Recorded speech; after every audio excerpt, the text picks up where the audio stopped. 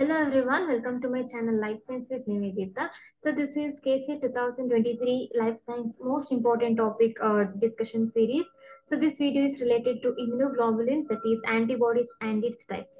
So very very important topic not only for KSET like CSIR, ICMR, DBT JRF, ICR many uh, life science exams are there right. So for everything this uh, topic is important. Okay, so now without any further delay let's get started. So first, move on to the different uh, classes of antibodies. Anyhow, five classes of antibodies are there.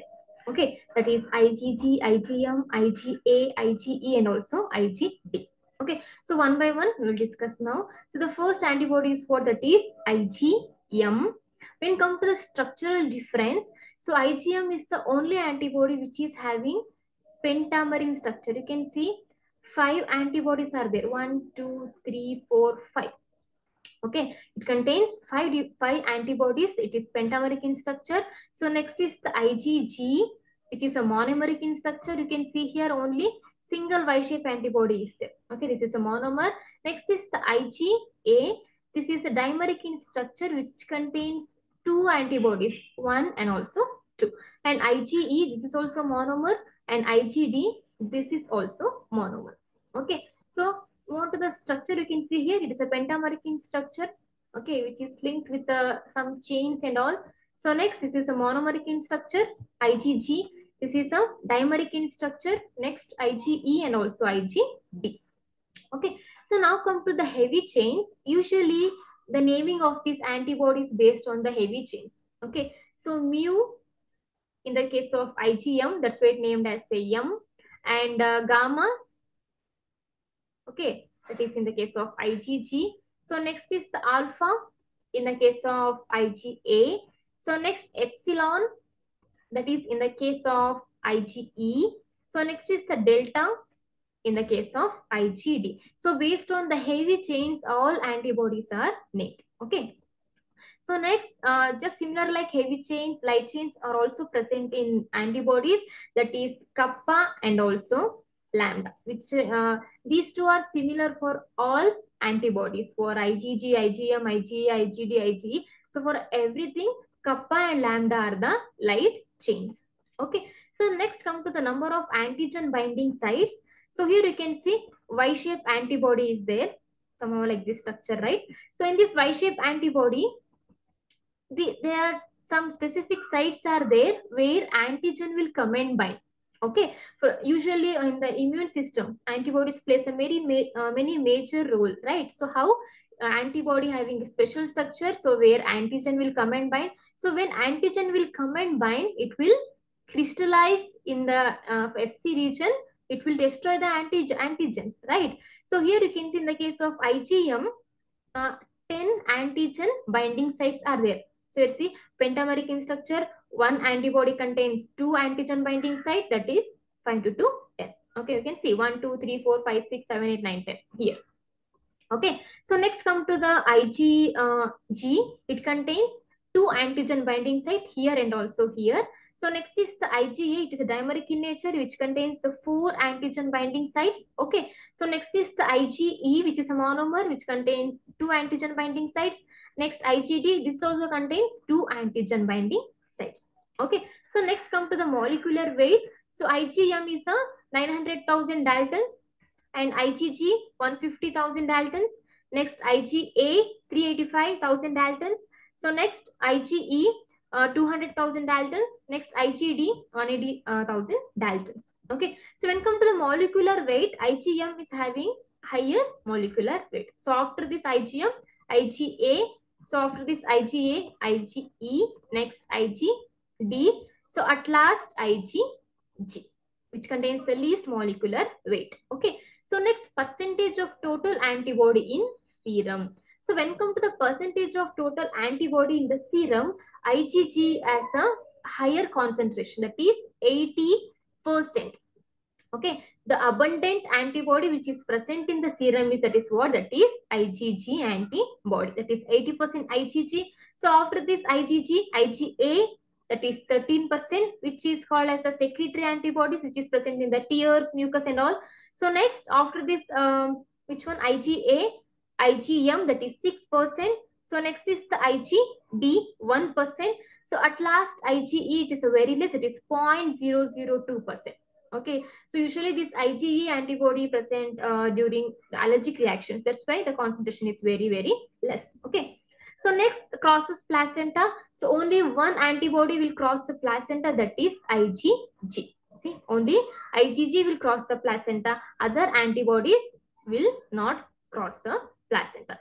Okay, so while um, childbirth itself, uh, we gain some sort of immunity, right? So that is because of this IgG only. IgG during the fetus itself, this will this IgG antibody will cross the placenta and uh, give immunity to a newborn baby. Okay, so next is the fixes complement. So complement fixation has to be done when the antigens will come and bind for the crystallization or destroy of the antigens. So this complement fixation only takes place in IgM and also IgG. You can see the complement fixation only takes place in IgM and also IgG. There is no complement fixation in IgD, IgA and also IgE. Okay. So next FC binds to, FC means what? That is factor of crystallization. For example, this is antibody structure. Okay. So in this antibody structure, this is antigen binding site, which is called as a FAB. That is factor, factor of antigen binding site.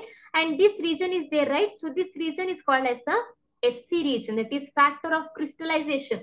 So when antigen will binding here, this antigen has to move here for the crystallization. That is, we have to, uh, our body has to destroy the antigen because if it retain in our body, it will uh, further cause some diseases, right? So that's why it has to undergo crystallization. So here, this FC is there, right? So this FC will binds to the phagocytes in the case of IgG. Phagocytosis, the engulfment. Here what happened? Here antigen is there. Okay. So uh, this antigen. Okay. So this is antibody. So this is FC region. Okay. So this FC region will bind to the phagocyte to engulf this antibody. Just engulf it. Okay. So next, in the case of IgE, this FC region will binds to the mast cells and also basophils. Usually this IgE perform in the case of allergic reactions. So because of these allergic reactions, this FC region has to binds to the mast cells and also basophils. Okay. So these uh, three uh, antibodies will uh, gain crystallization and destroy the antigens. Okay. So next come to the function of these antibodies. So IgM is the main antibody of primary response. Based at fixing complement, the monomer form of IgM serves as a B cell receptor.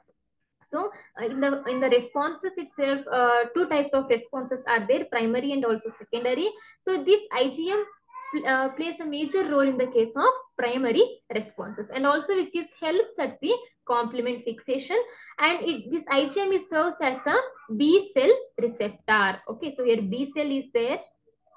Okay, on surface of the B cell which is act as a receptor to uh, you know to bind the antigens to to phagocyte antigens in the B cell. This IgM is act as a B cell receptor.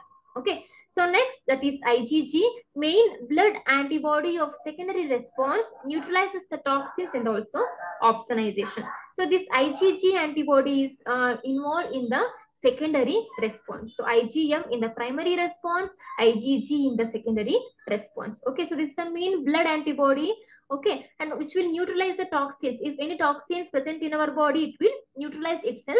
So next which is helps for the opsonization which will identify the phagocyte for the phagocytosis process. Okay so next is the iga so usually iga antibody is called as a secretory antibody. Why? Because it is secreted into mucus tears saliva and also colostrum okay so if any uh, any microorganisms enter through our mouth or else uh, through our you know nose through tear, eyes and all so that microorganisms has to coming out right? So for that thing with help of mucus with help of tears the microorganisms which enter inside our body right that will coming out. Okay so next is the ige it, it plays a major role in the allergic reaction and also anti-parasitic activity. If any parasites present in our body, suddenly IgE concentration will increase. Okay, if, if IgE concentration is more in our body means what? That indicates our body undergo allergic reactions or any parasites are present in our body. Okay, so next that is IgD you can say this IgD is a secondary IgM because the same function which, which performs the similar like IgM. This is also serves as a B cell receptor. Okay, this chart is very, very important. Uh, just go through this uh, slide. That's more than enough in uh, mass following or else in direct questions also they ask. Not only in KSET, in CSIR part B also this type of questions will ask. Okay, I hope uh, this video will help. If any doubts, if any questions, let me know in the comment box. So if you like this video, hit a like button and subscribe to my YouTube channel. Thank you so much.